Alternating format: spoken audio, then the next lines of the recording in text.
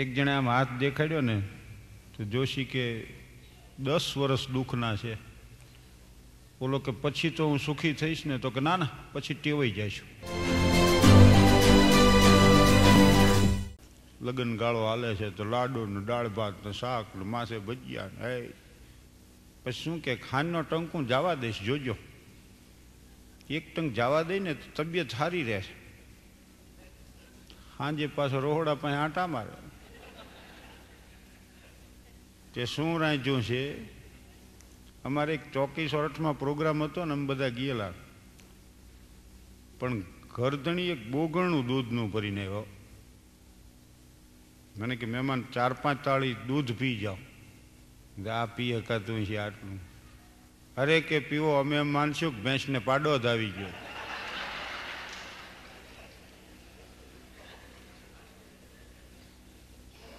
અહીંયા હું ને લાખાભાઈ ને પ્રાણભાઈ ને દિવાળીબેન ને અમારે ચુડાસમા સાહેબની મહેમાન થયેલા, તેજપાલ સોસાયટી તે અમે બરોબર મહેમાન થયા અને ઘરના નાના નાના બાળકો કે આજે કાંકરિયા પ્રાણી સંગ્રહ સ્થાનમાં અમારે વાંજરા જોવા જવું. પણ અમારે બેનને વળી સમજાવ્યા તરત જ કે ઘરે મહેમાન આવ્યા છે ને તમારે વાંજરા જોવા જવું છે?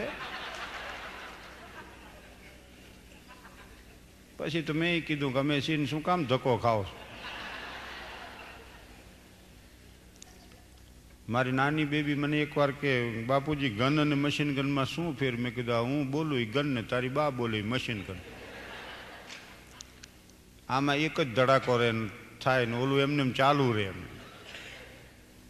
અમારી શેરીમાં એક ભંગાર ખરીદવા વાળો આવ્યો કે, બેન, ઘરમાં કંઈ ભંગાર છે? તો કંઈ ઓફિસે ગયા છે?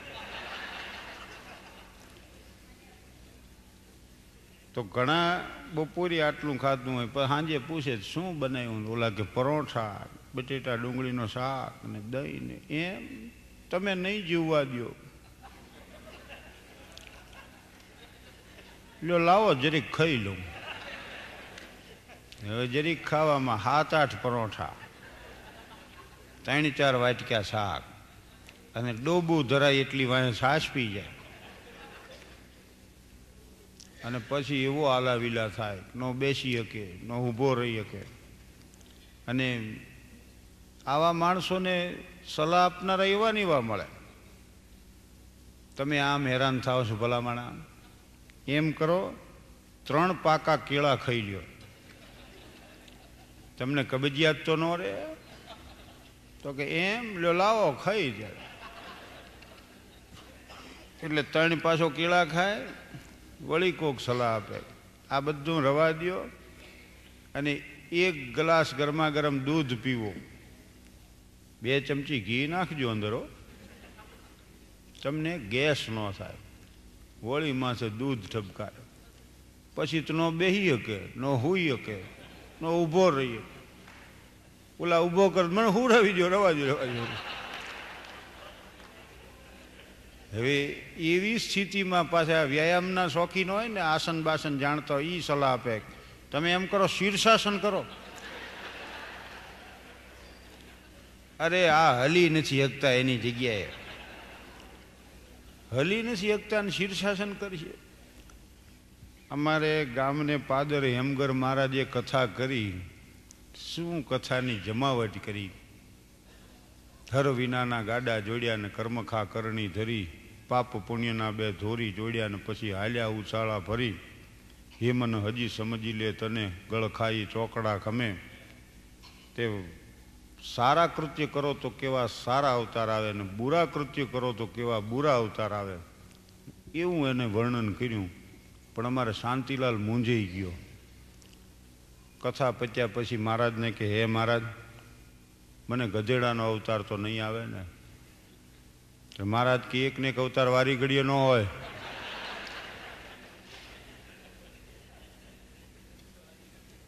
એટલે સહેલામ સહેલો ઉપદેશ આપવો એ કાં કોકને સલાહ આપવી? મને એક જણો કે આ તમને શરદી થઈ ઉધરસ થઈ છે? હા. આ લ્યો આ દવા. લ્યો તો કંઈ ફાયદો નથી, ન લ્યો તો કંઈ નુકસાન નથી, તમારે લેવી એટલે લેવી, ન લેવી ન લેવી. એથી અઘરું જો કાંઈ હોય ને તો કોઈને જ્ઞાન આપવું. આ મકર સંક્રાંતિ આવે અને છોકરા મકાન માસે દોડ્યા જતા હોય એ છોકરાઓને પતંગ દેખાય ને આપણને એનું મોત દેખાય. પણ આપણી સમજણ એને કામ ન આવે, જો. એને જે દી મોત દેખાય તે દી અટકી જાય. એટલે જે કૃષ્ણમૂર્તિએ કીધું છે see the fact and fact will show the way. જે છે ને એને જોવો. And when you start to follow the truth, you cannot follow anyone else. And when you start to follow anyone else, else you to follow the truth તમે એકવાર અનુસરો પછી બીજા નહીં અનુસરી પણ એ જ્ઞાન છે એટલે એ અઘરું છે. અને ઈથી અઘરું કોઈને આનંદ આપવો એ ઉપર આમ ટ્રેન આવી બે મિત્રો ગયા સ્ટેશન ઉપર. એકની પત્ની આવવાની હતી એકની જવાની હતી. પણ જેની પત્ની જવાની હતી તો ગળગળો થઈ ગયેલો.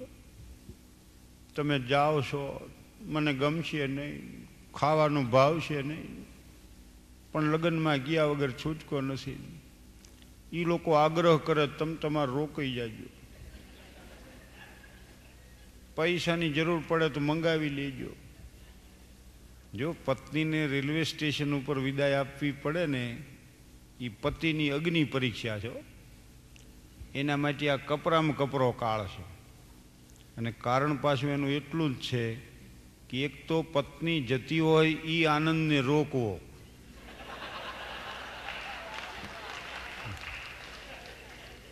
પત્ની જતી હોય ને ઉર્મિઓના જે ઉછાળા આવતા હોય એ બધાએ પેલા હેઠે બેહારવા પડે. અને ઉપરથી કરુણતાના ભાવ ધારણ કરવા પડે. પણ પુરુષો જે રહ્યા ને એ જન્મજાત કલાકાર હોય એકો એક કલાકાર. બધું સમજતા હોય કે આ ગાડી ઉપડે ત્યાં સુધી કષ્ટી છે. પછી તો એને પ્રભુના ખોળે છે. અને બેનો જે રહ્યા ને એમાં નેવું ટકા ભોળા હોય. અને એને વળી ઈ ભ્રમ હોય કે અમારે ઈ હાવ ભોળા છે.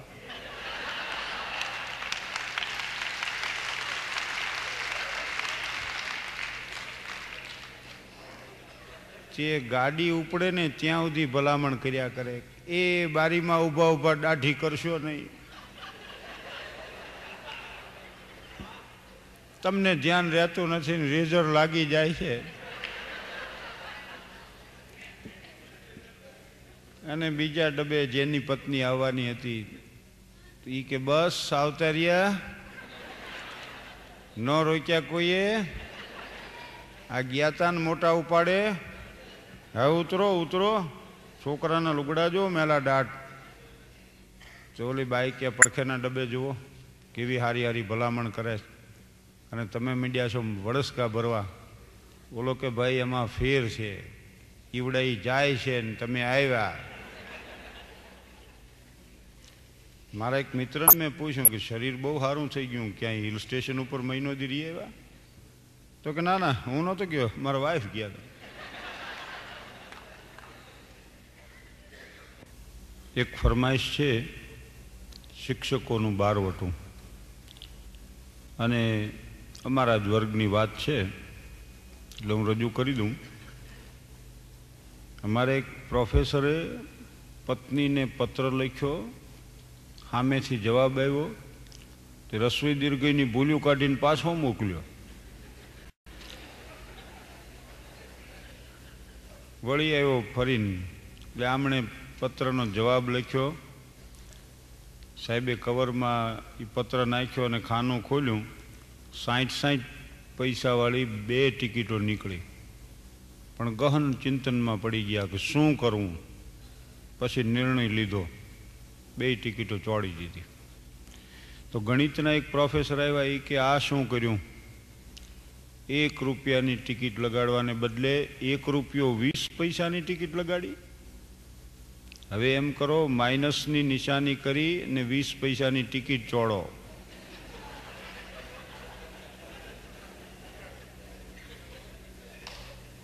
એટલે ઓછાની નિશાની કરીને વીસ પૈસાની ટિકિટ ચોડી. ત્યાં પ્રિન્સિપાલ સાહેબ આવ્યા આંટો મારવા. એ કે, આવું બધું કર્યું એમાં લોકોનું ગણિત કેટલું કાચું છે, આમાં કોને ખબર પડશે? હવે એમ કરો ઇઝ ઇક્વલ ટુ કરીને એક રૂપિયાની ટિકિટ ચોડો.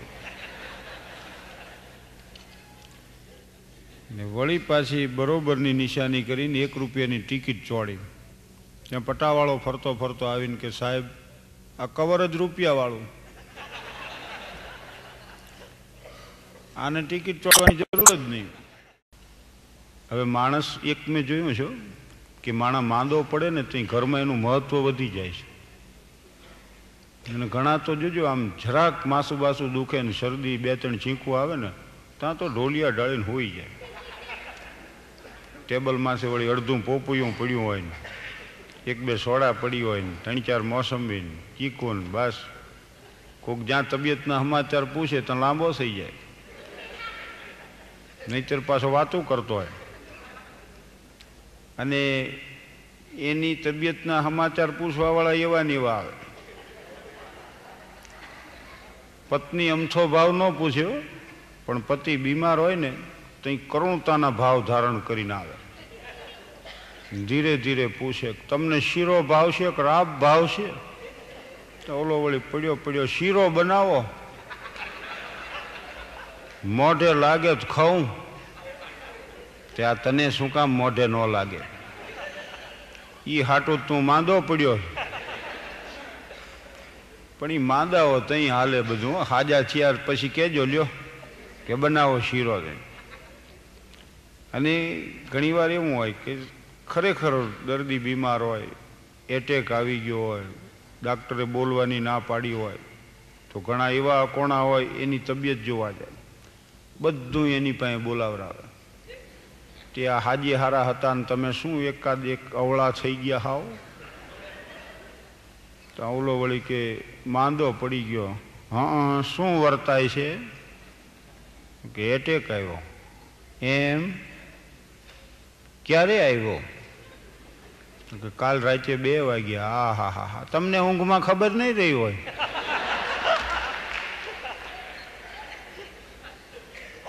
પેર, પરસીવે થઈને અવળા થઈ ગયા ને ખબર નહીં રહી હોય?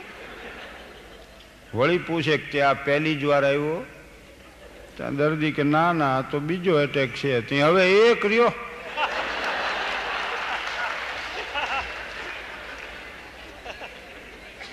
પણ આ ઈ સાંભળવા તને અહીં બોલાવ્યો છે. આ અમને નથી ખબર.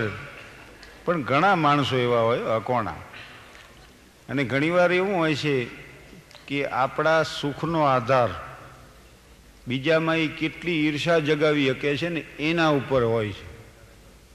એટલે મોટર નવી ખરીદે ને, તો રામજી મંદિરે જવું જોઈએ, ઠાકર મંદિરે જવું જોઈએ. દર્શન કરીને પછી આગળ જાય. પણ જોજો, ઘણા વિરોધી હોય ને, એના ઘર પાસેથી નીકળીને ત્યાં ત્રણ વાર હોર્ન વગાડે. ટી ટી કરીને. ઉલાવળી બહાર નીકળે, ત્યાં કે છે, આ, હા, આવો આવો આવો. આપણા સંબંધો એવા છે કે ઉપરથી સંબંધ અંદર ખાનેથી વિરોધ નહીં એવું જીવન છે રોય તો ને ગમ, હસે તો ને ખુશી, એવી જિંદગી જીવી છે. નિકલે છે કહા, જાને કે લીએ પહોંચે હે કહા, માલુમ નહીં. दिन रात भटकते कदमों को मंजिल का निशान मालूम नहीं આ મંદિરે જવા નીકળ્યા હતા ને મયખાનામાં નીકળ્યા આ કાબા શરીફ જવું તો ને કેસિનોમાં જઈ ચડ્યા જો પણ રસ્તા ઉપરના જતા પથિકની ચાલ જોવી હોય તો ફૂટપાથમાં છે ઊભું રહી જવું પડે નદીનો પ્રવાહ જોવો હોય ને તો તટ માસે ઊભા રહેવું પડે તે આ પાછા શું કહે કે હવે અમને મોટર વગર નથી ફાવતું. રાજકોટ જવાનું થાય ને જામનગર જવાનું થાય. વેવાઈ વડોદરા છે તો અવારનવાર અહીંયા થાય. એટલે હવે આ ખરીદી લીધી. ત્યાં ઓલા ગંભીર થઈ જાય. મોટર લીધી હશે ભગવાન જેવો ધણી. કે કાં અત્યારે જ રોડમાં છે એટલા એક્સિડન્ટ એટલા એક્સિડન્ટ હાજે હારા ગયા હોય છે ને દવાખાનામાં દાખલ કરવા એટલે અમે તો બાપના દુશ્મનને એ પ્રભુ, તું મોટર દઈશ નહીં. એ વળી એવા, એવી પ્રાર્થના કરે. તો બીજામાં કેટલો, કેટલી ઈર્ષા જગાવી શકે એના ઉપર આપણા સુખનો આધાર હોય છે. અને આ જગતમાં મેં જોયું છે કે જે કંઈ સારું રહ્યું એ પ્રાપ્ત કરવા પ્રયાસ કરવો પડે. સારા અક્ષરો કાઢવા હોય તો મહેનત કરવી પડે છે નબળા એની મેળે આવે.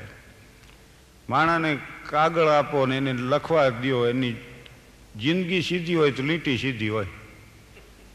જીવન સીધું હોય તો લીટી સીધી હોય, નકર ઘણા આમ હેઠે હાલ્યા આવે. પૂજ્ય પિતાશ્રી, હું ખુશી મજામાં છું તમે હશો ત્યાં ખૂણામાં વયો ગયો હોય. અને ઘણા આમ ઉપર ચડતા જાય. કે અમારે માઉન્ટ આબુ જવાનું હોવાથી રૂપિયા અઢીસો મોકલી આપશો, ત્યાં ખૂણામાં વયો ગયો.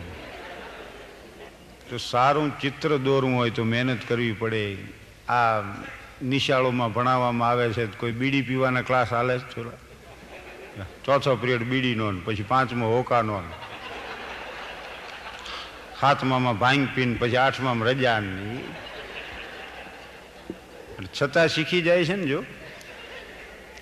એનું કારણ એથેન્સની એક વારાંગનાએ સોક્રેટિસને એમ કીધું હતું કે હું તમારા બધા શિષ્યોને પતિત કરી દઉં, તો સોક્રેટિસ કે મારું કામ જે રહ્યું ને એ પહાડ ઉપર ચડાવવાનું છે.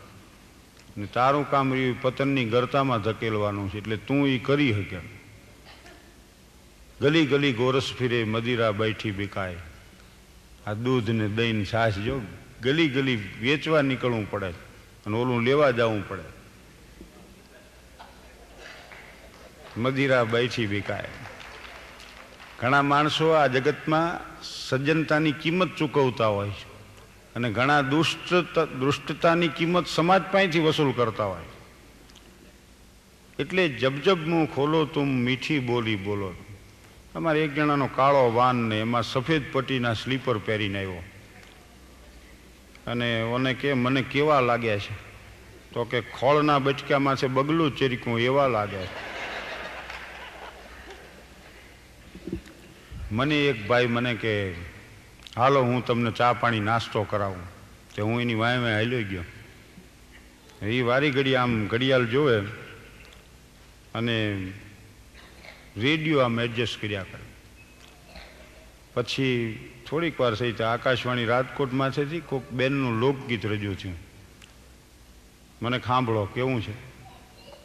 એટલે મેં કીધું, કોણ લાગી પડ્યું છે? આવું લોકગીત હતું? અને જે ભાઈ મોળા પડ્યા છે હા મને કે મારા પત્નીનો કાર્યક્રમ છે. એને એમ કીધું ને હું મોળો પડ્યો. બધુંય બાકી. અને મને શું કે આપણને આ ક્યાં કમાઈ થૂજી? બે વેણ હારા કીધા હતો, શું વાંધો હતો? આપણે ક્યાં ક્ષેત્રના નિષ્ણાત છીએ? પછી મેં વાળવાનો પ્રયાસ કર્યો. મેં ના ના, એવું નથી. એમનો અવાજ બહુ સારો છે. રજૂઆત સારી છે. ભવિષ્યમાં આગળ આવશે, પણ અત્યારે ભૂલ ક્યાં ખાઈ ગયા? ગીત પસંદ કરવા. તો ઓલો કે એ મેં લખ્યું છે.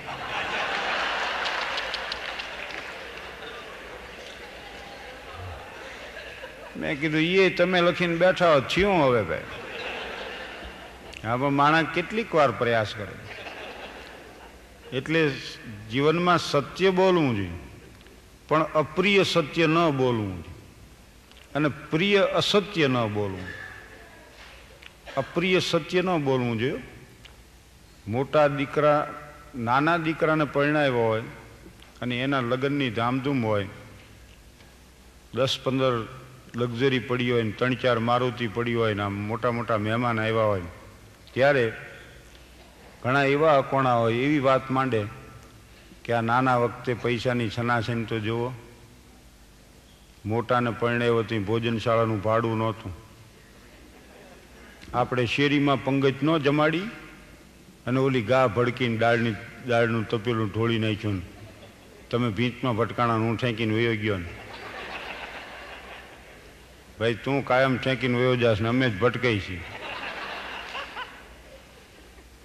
તે અત્યારે આ હારો દી પ્રભુએ દેખાડ્યો. હવે એ વખતે એવી વાત કાઢે.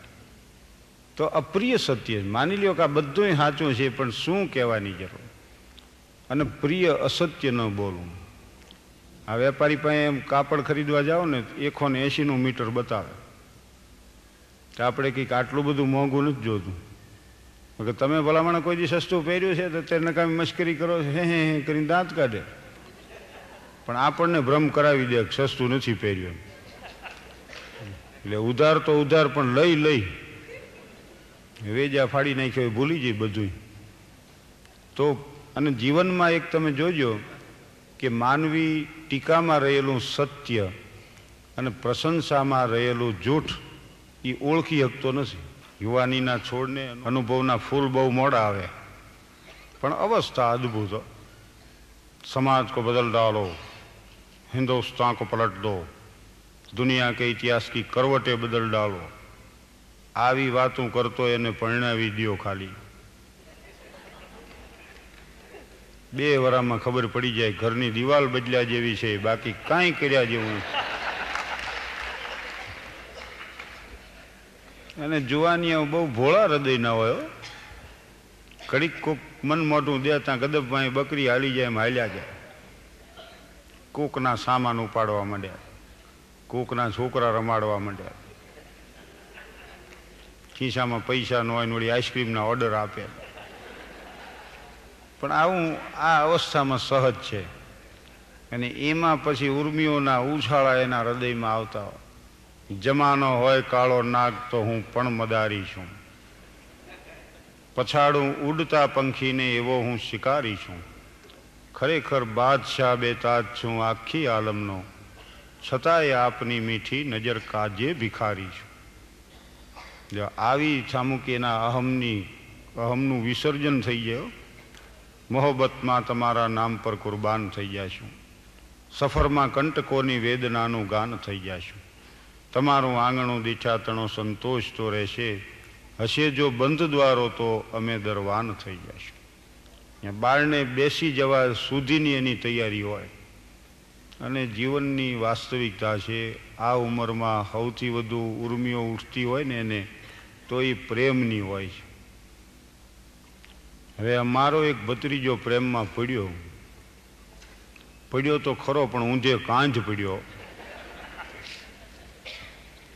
બઢી હોય દાઢી ને બાવરે નયન ને બિખરે હોય બાલ ને જીગર મેં જખમ આવી જે બધી અવસ્થા હોય છે ને બારી પાસે બેહી આમ દેવદાસ ગોળે આખો દી. જુદી જાતની ભાષા વાપરે. ઘર આખું સમજાવી સમજાવીને થાક્યું પછી મને સમજાવવા માટે મોકલ્યો.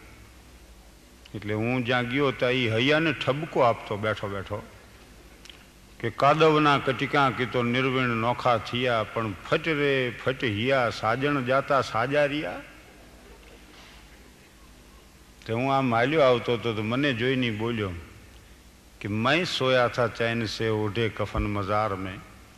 यहां भी सताने आ गए किसने पता बता दिया એટલે મેં કીધું મને આ ઘરના સરનામાની ખબર નથી હું એની સામે જઈને ઊભો રહ્યો તો મને કે આય ક્ષમા જરા હટકે જલ મેરી મજાર से मैं खुद ही जल रहा हूं दिले बेकरार से અને પછી મેં કીધું તું આટલો બધો રોવસ શું કામ तो कि देख कर मुझे कहता है सारा जहाँ। रात दिन रोते रहते हो क्यों महरबा दिल सुलगता रहा, फिर भी मैं चुप रहा। आँखें सब कुछ बता दे तो मैं क्या करूँ? वही मैं कीधु पर आटलो बढ़ो दुखी थी गयो। तो कि गम की बिजली गिरी, जल गया आसिया हम सफ़र छूट गए, लुट गया कारवा। ज़िंदगी की मुझे अब तमन्ना नहीं। मौत भी घर न आए तो मैं क्या करूं મેં હું તો બહુ મૂંઝાઈ ગયો મેં કીધું આને કાંઈક પૂછો ના ધડ શેર વરગાડે આને પૂછવું શું પણ ત્યાં તો એણે મને પૂછ્યું મને કે કાકા આકાશમાં આટલા બધા સિતારાઓ કેમ છે એની તમને ખબર છે મેં કીધું મને આપણા કુટુંબના લેણિયા જ કેટલા છે એ ખબર છે એકવાર મોરબી જ્યોતિન્દ્ર દવેનું પ્રમુખ સ્થાન હતું મુંબઈમાં મારો કાર્યક્રમ હતો. તે મેં કીધું, મારે ત્યાં એક જણો ઉઘરાણી આવ્યો. તો મેં મને કે, તમારે ત્યાં ઉઘરાણીએ ધક્કા ખાઈ ખાઈને મારા ત્રણ જોડી ચંપલ ફાટી ગયા. તો હું દાંત મીંડ્યો કાઢવા. અરે કે દાંત કાઢો છો? તમારે શરમાવવું જોઈએ. મેં કીધું, તમે ચંપલ ફાટ્યાની વાત કરો છો અહીં મરી ગયાના દાખલા બન્યા છે. અને અમારે તો હમણાં થાય છે શું? જ્યાં જ્યાં કાર્યક્રમ હોય ત્યાં માણા હવે તો સારું સારું ખવડાવે. તે હવે મારા એડાની તકલીફ એ થઈ ઘરે નથી ભાવતું. અમે તો ઘરે જઈને એમ કરી, ચટણી કેમ નથી રાયતા કેમ નથી પાપડ કેમ નથી છાશમાં જીરું કેમ નથી નાખ્યું પછી મારી પત્ની કે આ નથી પ્રોગ્રામ દેવા આવ્યા. આ ઘરે આવતા રહ્યા પાછા. કેરીની સિઝનમાં મેં કીધું, રસમાં હુંછ નાખજો. પણ કે કેરી જ નથી તો શેમાં હૂંચ નાખે? એમને એમ ફાંકડો મારી જાઓ.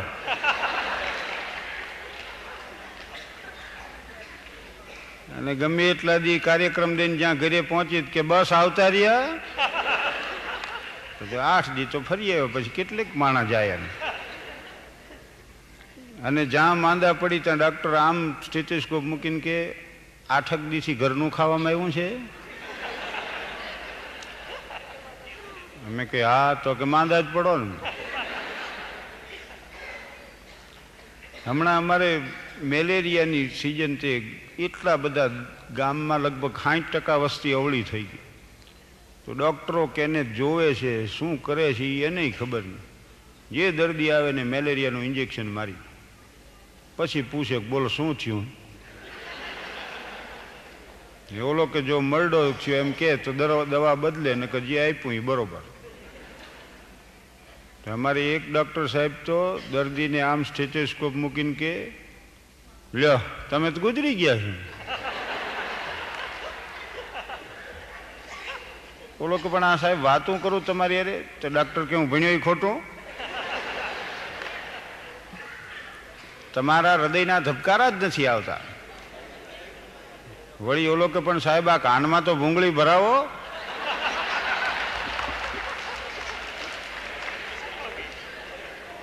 ને વળી આમ રાખીને કે, હા, હવે બરોબર હવે બરોબર. અને એક દર્દીને અમારે ડૉક્ટર કામ સ્ટેથોસ્કોપ મૂકીને કે, ઘડિયાળ જેટલું નિયમિત તમારો હાર્ટ હાલે છે.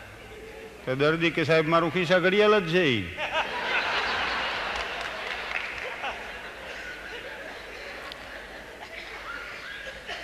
એટલે જ્યોતિન્દ્રભાઈએ કીધું, મને કે જીવશો જાજુ, હાસ્યકારો કોઈ દુઃખને દુઃખ નથી લેખતા.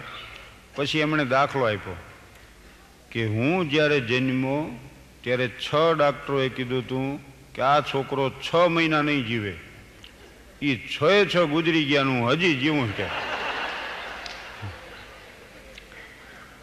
એટલે આને પૂછ્યું મારા ભત્રીજાએ કે આકાશમાં આટલા બધા સિતારાઓ કેમ છે? મેં કીધું એ તને જ આજી ખબર પડે.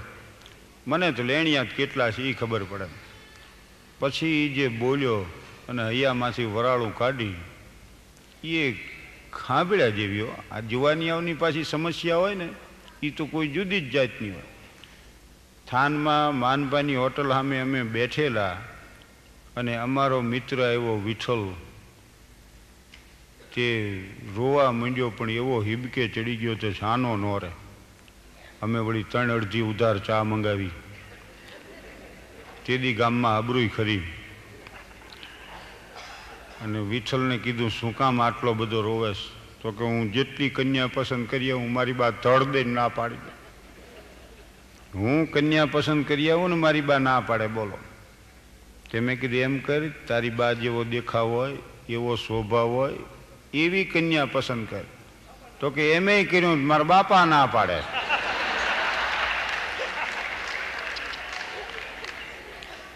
એટલે આવી સમસ્યાઓ હોય યુવાનોને, તો આનું હું કરી દઉં પૂરું. પછી એને જે એ બોલ્યો, મને કે કાકા, મારા અરમાનોની લાશ પર જ્યારે નિરાશાના કફન ઉડાડાઈ રહ્યા છે, ત્યારે જંજાવાતો કેમ નથી જાગતા? તોફાનો કેમ નથી સર્જાતા? દિશાઓ ધૂંધળી કેમ નથી થઈ ઉઠતી? મારા હૃદયના જ્યારે ટુકડે ટુકડા થયા છે, ત્યારે ધરતીકંપ કેમ નથી થતો? કાકા, ધરતીકંપ કેમ નથી થતો? મેં કીધું, ધરતીકંપ તું એ પ્રમાણે ન થાય. ભૂગોળમાં કારણ આપ્યા એ પ્રમાણે થાય. અને ધરતીને આ રોજનું થયું. હું કવિ સંમેલનમાં ગયો ને અહીંયા કવિઓ બધા ભેગા થયેલા. માપ બારના જભા. વધારેલા વાળ. અમથી અમથા આકાશ તરફ જોઈ રહે. ભાષા એ પાછી જુદી જાતની. એક કવિને મેં કીધું, તમે બહુ સારું લખો છો. તો કે હું લખતો નથી, મારાથી લખાઈ જાય છે. હશે કીધું. બીજાને કીધું તમારું સાહિત્ય બહુ ઉત્તમ હોય છે. તો કે મને કે પરમ કૃપાળુ પરમાત્માએ કોઈ મહાન ઉદ્દેશ માટે મને નિમિત્ત બનાવ્યો હોય એવું મારું નમ્રપણે માનવું છે. મેં કીધું, માનો, એક જણો મને કે વિશ્વ પ્રવાસે જવાનો વિચાર છે, કેટલો ખર્ચ થાય? મેં કીધું, આમાં કાંઈ ખર્ચ નહીં. તો કે, કાં? મેં કીધું, વિચારમાં શું ખર્ચ?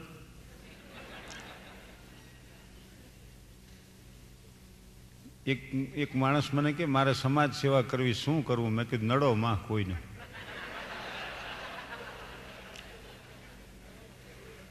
ઘણા આમ જોશીને હાથ દેખાડે કે, જોવો જોઈ, મને શું નડે છે? હવે તું કોને કોને નડે? આમાં જાણ્યા જેવું એ છે. એક જણે આમ હાથ દેખાડ્યો ને, તો જોશી કે, દસ વર્ષ દુઃખના છે. બોલો કે પછી તો હું સુખી થઈશ ને તો કે ના ના, પછી ટેવાઈ જઈશ.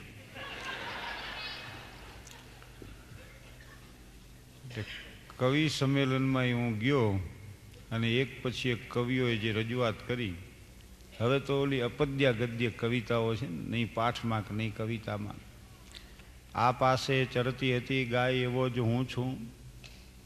એને નીરોજો ઘાસ તો મુજને સિદ્ધ અવગણો.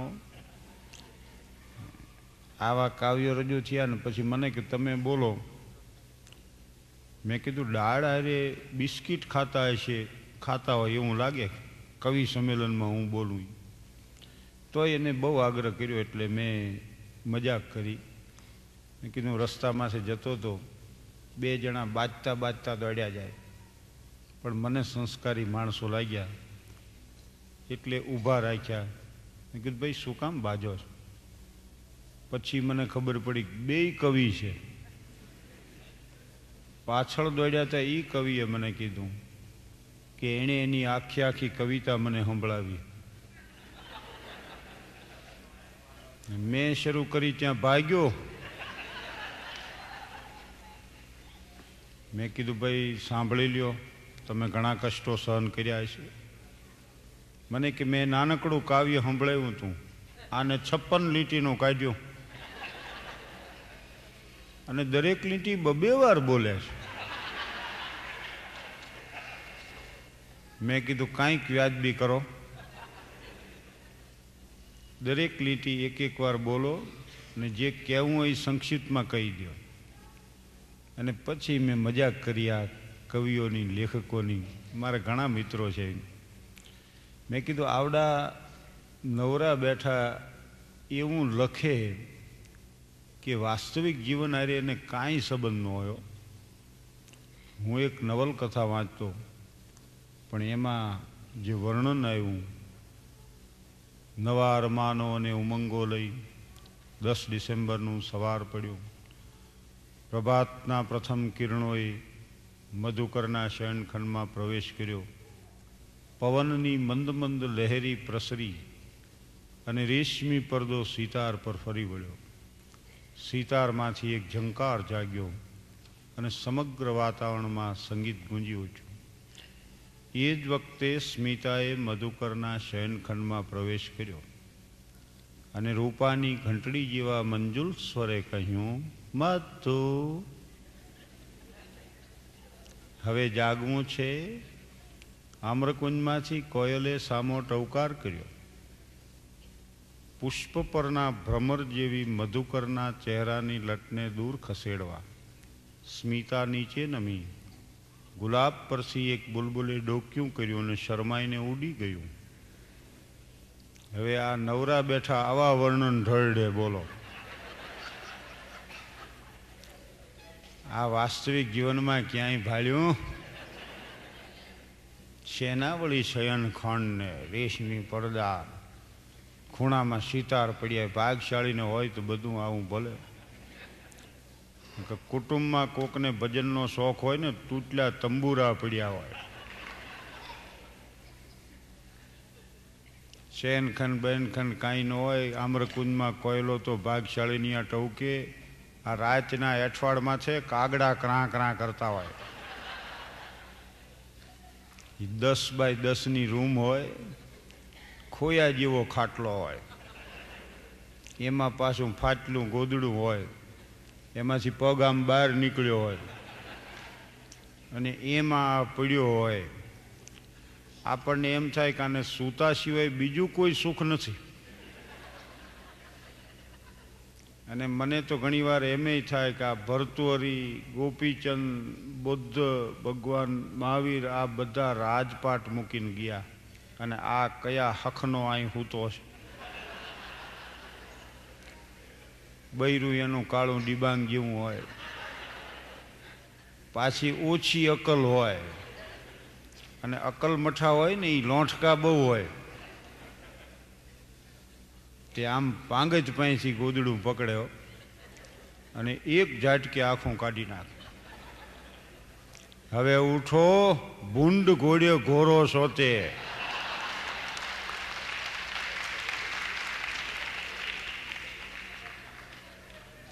હવે એને એમેય ન થાય કે આ રાતે પ્રોગ્રામ આપીને બહુ મોડા આવ્યા છે. કે પ્રોગ્રામ સાંભળીને બહુ મોડા આવ્યા. બેયનું રાખો ને મોડું તો એમાંય થાય.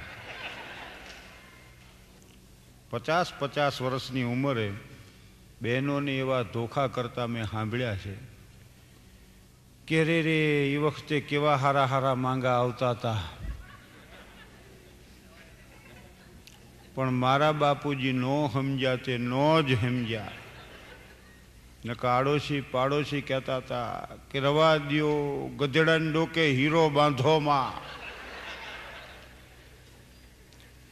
પણ કરમમાં કઠણાઈ માંડી છે. ઓલોય વળી પાછો પડ્યો પડ્યો કે એ બધા ભાગશાળીને મારા ફૂટી ગયા.